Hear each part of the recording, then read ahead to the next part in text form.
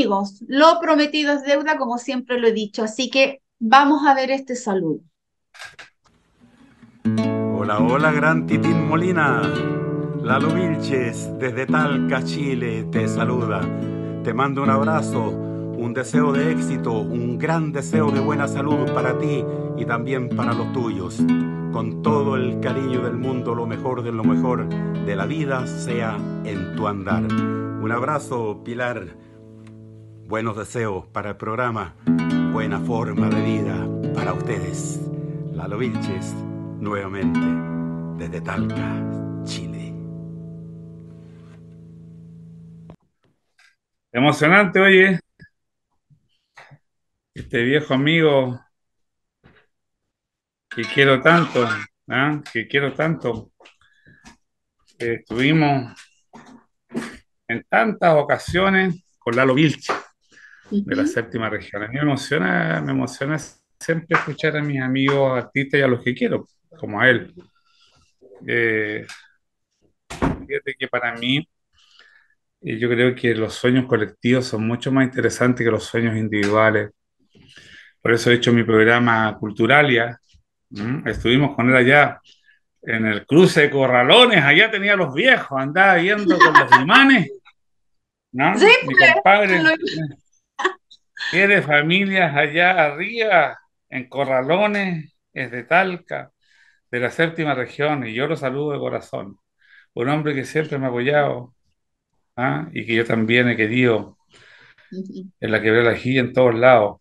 Íbamos mucho aquí en Amávida y nos entramos en la séptima región, donde fíjate que hay tantos amigos, tantos amigos buenos, el carretero, mi compadre Hugo Ayala, su guitarrista que falleció, tanta gente, el clavel, eh, amigos buenos, te digo, todo Chile. Y mi lucha ha sido un poco, mi lucha de vida es entender que Chile está lindo en todas partes. Yo me fui de Santiago, yo soy santiaguino del centro. ¿Pero dónde estás viviendo ahora? Aquí ahora estoy en La Serena. ¿Mm? ¿Allá vives? Yo vivo entre La Serena y Los Vilos, no entre Tongoy y Los Vilos. Entre Tongoy y Los Vilos. tú sabes que esta frase, tú sabes que esta frase que a veces uno empieza a adentrarse, y bueno, aquí tengo una, buena biblioteca, una de las, de las cuatro que tengo. Debo tener, eh, mira, el, mi amor por los libros me lo enseñaron algunos viejos. El que me llama hoy día de loca, pues. ¿ah? Y tengo yo todos mis libros empastados, especialmente eh, me gasté una cantidad de plata porque me enseñaron el amor por los libros, ¿ves? Está el escudo de Chile, los rojos son de historia, los verdes de filosofía, unos 4.000 libros hay por ahí, libros algunos de primera edición. Donde hay una biblioteca, eh, hay alma. Donde hay una biblioteca, hay una puerta abierta al universo. Hoy día el teléfono, pero el teléfono, uno se diluye en el teléfono. El teléfono sirve para jugar, sirve para muchas cosas. Y como dijo Einstein, eh, cuando la tecnología esté en la mano, eh, el, ser humano se nos vamos a poner medio idiotas, y yo también me incluyo. Pero fíjate que esa gente, digamos, esos artistas, esos hermanos, son gente que uno quiere toda la vida. Yo soy un, hombre que, que no sé, me he levantado siempre queriendo. Ah. Sí, la resiliencia es muy importante. O sea, me he caído muchas veces. He sido un hombre eh, aventurero, partir, digamos, de ser eh, muy estructurado por mi madre, porque yo era el menor el menor de una mujer con una gran cultura, una educación muy básica. Imagínate una mujer de 36 años que queda viva con, con tres hombres. Los conflictos que pensamos distintos políticamente, todos teníamos ideas, mucha, mucha discusión, mucha violencia, toda la etapa política, pero cada uno creyendo en lo suyo, ¿ah? cada uno creyendo en lo suyo y jugándose eidéticamente, ¿no? En las ideas. Y así aprendí también a ser un poco transversal, a entender que las personas tienen derecho a pensar de manera distinta, tienen derecho a ser religiosos, tienen derecho a, ser agnóstico, no tengo problema. Pero hay gente que no le gusta eh, esa, esa idea. Si no estás en un lote, por eso que tampoco pude estar muy bien en un partido, estaba en un solo partido, porque en realidad tengo una visión más bien entera de las personas y de la existencia. Para mí, fíjate que nunca le preguntaría a alguien de qué partido es para ayudarlo o para quererlo o para discutir también, porque soy crítico conmigo mismo y de ahí parte para afuera. Lo mismo que el amor. El amor parte por el amor que tengo por mi persona. Yo creo en los egoístas. Sí. Creo en los egoístas, porque si una persona no es egoísta, es muy difícil que sea altruista. Alguien que no se quiere a sí mismo. Es imposible que dé el paso hacia afuera y querer a los demás. A mí es algo muy importante. Claro que hay que quererse como Dios manda. O sea, cuando ya vas a ir para, afuera, ya te Así que lindo saludo. Le agradezco al hombre de Talca. Y aunque no es primavera, le pongo la mano en la pera y le digo muchas gracias por el alma entera. Eso, vamos con una patita de cueca, no. Me falta la pura empanada aquí nomás.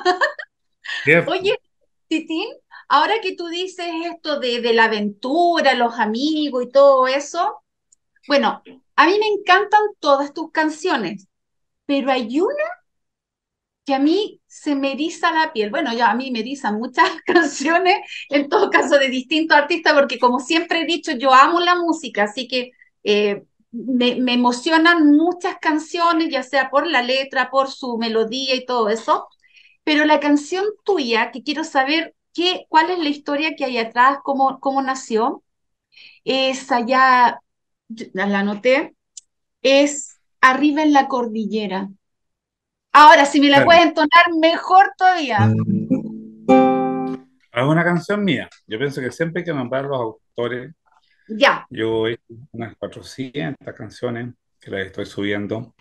Y esta canción, Arriba de la Cordillera, es una canción. Yo la he escuchado por ti. Yo la he escuchado por ti. Por eso que, ¿qué te digo. Muchas versiones y la, la canté el otro día, me regalaron una versión que es muy linda es muy linda porque está a corazón abierto, te das cuenta cuando uno tiene 20 años. Y fuimos al Festival de la Una y estaba Jorge Pedrero ahí. Eran momentos complejos. Yo estaba haciendo amor sin barrera y todo eso, pero ya estaba modificando mi, mi actitud frente a la, a la, vida. Pensaba que la identidad era importante. O sea, ¿cuál es la identidad chilena? O sea, saber que la identidad, el eidos, ¿qué es lo que soy yo?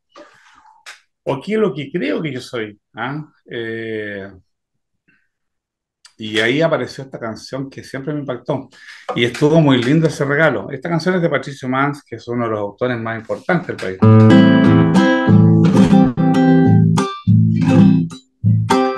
¿Qué sabes de cordillera? Si tú naciste tan lejos, hay que conocer la piel que corona el vento izquierdo, hay que recorrer callando los atajos del silencio.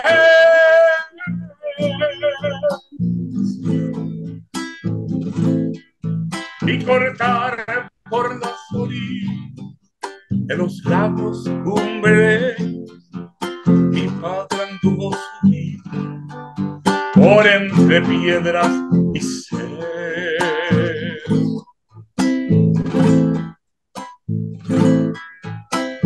la viuda blanca en su cruz.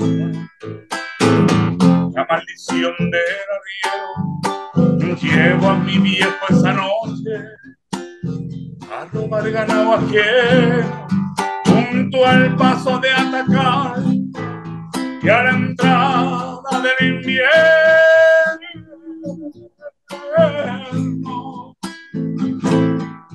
Le preguntaron a Gol y él respondió con silencio. Los guardias cordilleras clavaron su cruz al.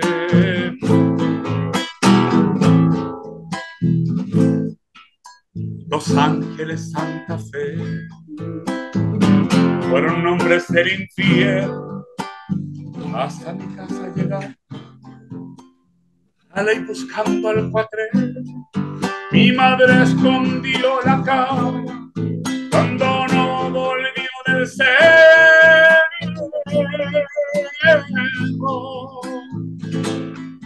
Y arriba en la cordillera, la noche entraba en sus huesos, el que fue tan hombre y sol, que por la muerte, la muerte en su arreglo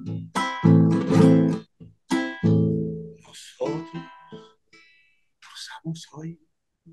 Con un rebaño del buen.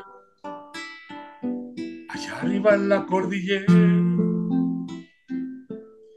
No nos vio pasar ni al viento, con qué orgullo me querría si ahora llegara a saber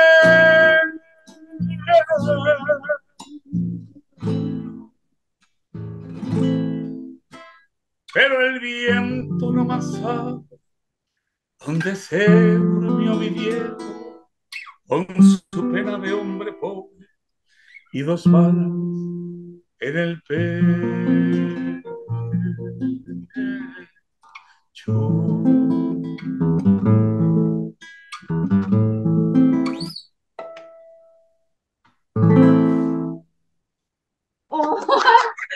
Maravillosa, maravillosa, me encantó.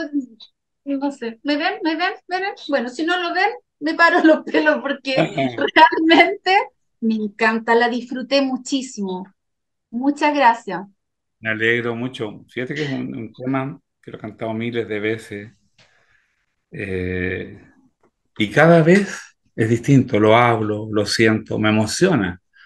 Sí, a mí una... todo caso, pero porque hay que, hay que sentir. Y fíjate que Patricio Mans, eh, eh, hablamos, una, estuvimos como tres ocasiones, no mucho, lo entrevisté. Y, y en realidad no, no había vivido algo así, lo imaginó, tenía una imaginación maravillosa, escribió un libro sobre Punta Arena y no había estado allí cuando la persona con la que interlocutó le dice, hoy está todo tan bien descrito, tan, tan... Un hombre que de inteligencia superior, de corazón profundo, un amante de la vida, de la sociedad, un chileno, un chileno que, realmente le da categoría y régimen al país. Tú también, ¿ah?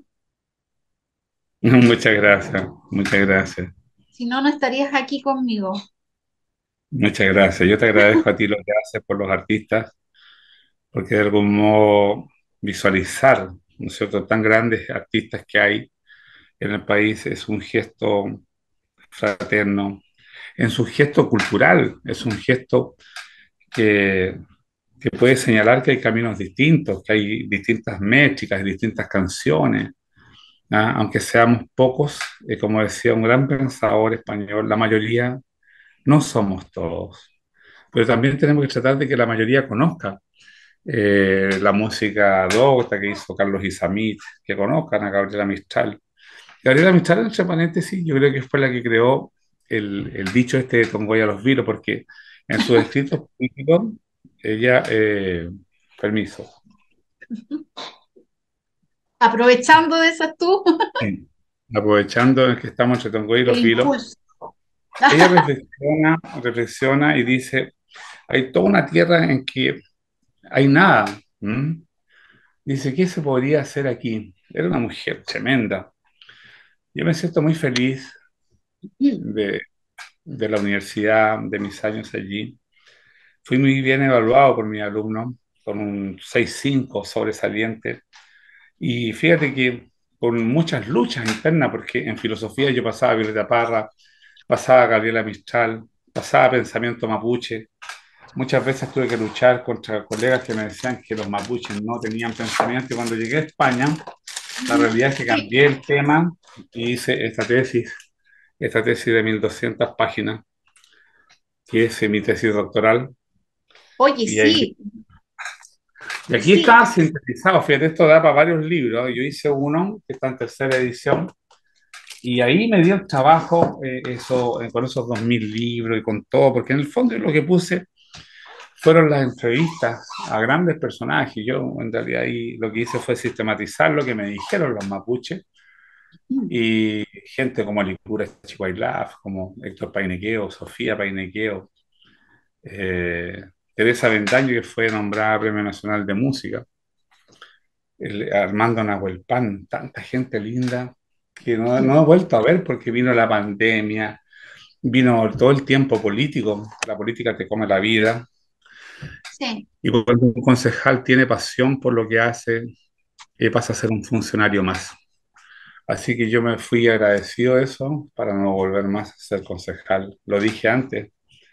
Y también creo que los cargos no tienen que irse. O sea, cuando fui a Viña y luché, luché, gané, gané bien, gané, gané con un público de pie, gritando, se pasó que no lo había valorado eso. ¿Te llevaste dos gaviotas la misma noche? Claro, en primer lugar, artista más popular y todas las encuestas radiales. Y ahí había que irse ya y dejarle el paso a otros jóvenes que vengan uno no tiene que enquistarse en, los lugares, tiene que ir variando y dejándole paso a otras, a otras personas. Uno tiene que ir inventando otros caminos, si no se trata de que te pegue un tiro, ¿ah? pero se trata de... Después, se terminaron los programas porque eh, hubo un programa en TVN, Los Musicantes, parece que lo, dirigía la Charo Cofré. Y ese fue como el último, el último programa que se hizo musical en la televisión o idea mía. Está muy bien lo que tú dices, fíjate que aquí pasó algo terrible, porque muchos quedamos exiliados aquí adentro. ¿Ah? Yo te voy a mostrar una canción que es dura, la más dura eh, que se estableció en aquel momento, dura porque se nombra ahí a mucha gente directamente me pasaron muchas cosas terribles políticamente, pero yo nunca he usurpado ese tipo de cosas, no, no, las, no las he usado porque cuando uno toma una posición sabe las consecuencias. ¿ah? Y como tú bien dices, eh, es la Charo Cofré, fíjate, la última que se pega el salto con los musicantes y de ahí desaparecimos. Desapareció la, la creación, desapareció de Viña del Mar también. Tuviste que ahora se luchó para que volviera una orquesta a hacer como que tocaba. Eh, a mí me tocó vivir y luchar todo, todos los periodos, de cómo se decantaba esto. Fui porque he sido sindicalista toda mi vida, entonces fui con Jorge Yaño una vez, con Ano Acevedo, y el alcalde González eh, nos sentó ahí porque por último quería consultar qué es lo que iba a pasar, pero como no hay gremios, como no hay unidad, no pasaba nada. o sea, nos sacaron de la tele, no pasó nada. Lo más terrible es entender que gente que prometió que iba a haber una cultura distintas a los que habíamos estado en las peñas, los que estuvimos aquí, eh, finalmente eh, hemos sido una generación que ha tenido que combatir, digamos, eh, por muchos caminos. Yo aplaudo a toda la gente que estuvo en las peñas, a los Aracpachas, a César Palacio, al Piojo Salinas, que tuvieron consecuencias graves, ¿no? En fin, sería para, para otro tema, ¿no? Para otro tema pero ese fue el último programa, el último programa y, claro, eh, yo creo que pasaron cosas graves desde el punto de vista cultural, muy graves, ¿ah? eh, que sería, habría que analizarlas, pero yo creo que aquí hubo una invisibilización de la creatividad. Hoy día lo que existe, y que yo también aplaudo a la gente que son tributos, que cantan como otras personas, pero eh, la creatividad eh, fue golpeada. Y también eh, otros, otros nichos de música, la gente mayor también está ausente y la televisión, fíjate que fundamentalmente la ve gente de la nuestra hacia arriba, los demás cabros están todos en, en, el teléfono. Entonces, bueno, pero ¿tú, ¿tú, te diste cuenta a todo esto de que en el Festival de Viña ahora no hubo nada como de los 40 años para arriba. Fue como de los 40, como los de 40, 30, 20 para abajo. Todos los artistas. Lo encuentro, pero horrible. Claro, lo que pasa cuando, cuando tú tienes un sentido de la cultura eh, tan segmentado, ¿ah? es decir, eh, cuando tú tienes un canal también tan segmentado, fíjate en España yo veía eh, programas en la televisión de Galicia y no tanto de postal, entraba gente gorda, flaca, chica, en silla de eh, era, era como las sociedades, pues. ¿ah?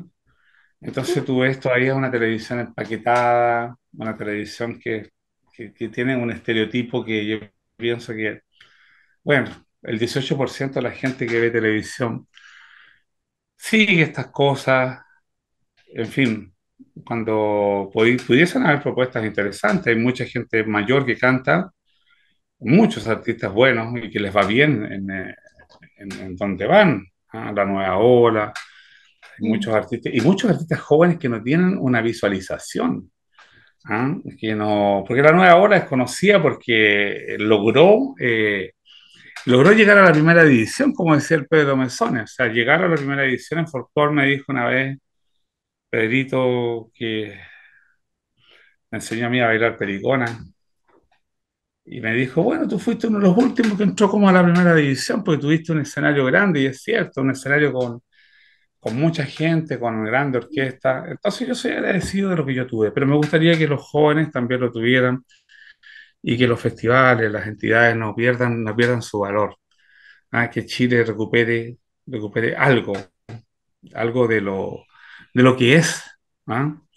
de lo que, que, la gente conozca, eh, lo que es Gabriela Mistral, lo que es Violeta Parra, lo que es Pablo Roca, lo que es eh, Toda esta gente tuvo que hacerse fuera de Chile, fíjate. Aquí al frente mío está la casa que compró Gabriela Mistral con su sueldo de cónsul a su madre, porque vivió siempre en lugares muy pobres. Y fíjate que eh, en muchos países hay calles con el nombre Gabriela Mistral, una mujer tremenda en la reflexión eh, universal. Ah, yo pienso que cuando Nicanor Parra dice Chile es más conocido por sus poetas que por los ferrocarriles del Estado, está diciendo que en el fondo es ahí donde está la matriz este país puede brindarle al mundo, ¿no? Gracias, Titín, porque, mm, bueno, había yo leído de ti ahora, había sabido también por otros amigos tuyos, compañeros de música y todo eso, pero después de esta entrevista, antes me gustaba, ahora te admiro, porque tu currículum es maravilloso, maravilloso. Me siento muy orgullosa de tener a un compañero chileno, hoy compañero así, eh, del mismo país, me refiero, no de política. Así que, bueno, claro, cuando empezábamos las clases, cuando empezábamos las ¿Ah? clases la universidad, tenía cursos grandes ¿eh? en la ingeniería. A ver, muchachos, aquí no se habla religión, no vamos a discutir tampoco de condiciones socioeconómicas. Este es un curso de formación antropológica. Vamos a ver a grandes pensadores chilenos, ¿Que hay filósofos chilenos? Sí, yo pienso que Gabriela Mistral desde la y de la poesía, poesía significa creación, ha hecho una filosofía para chilenos. También vamos a ver a, Platón, a, Hegel, en fin. Ah, y aquí no se discute de, ninguna wea, compañero. Oye, esa era la primera visitada y yo me siento tan agradecido a mis alumnos que todavía me escriben ya casados, ya hombres mayores. Creo que soy un agradecido de la vida y la felicidad y el éxito están cosas tan sencillas como querer a tu familia, querer que la gente de Chile eh, pueda vivir dignamente. Yo creo que ese, ese, es todo el tema. Y uno dormir tranquilo, eh, pasar esta vida de manera positiva. Y qué más que eso. Así que yo te doy gracias también por tu tiempo. Un abrazo, un beso y estamos al habla. ¿ya? Muchas gracias a toda la gente que nos está viendo. Muchas gracias.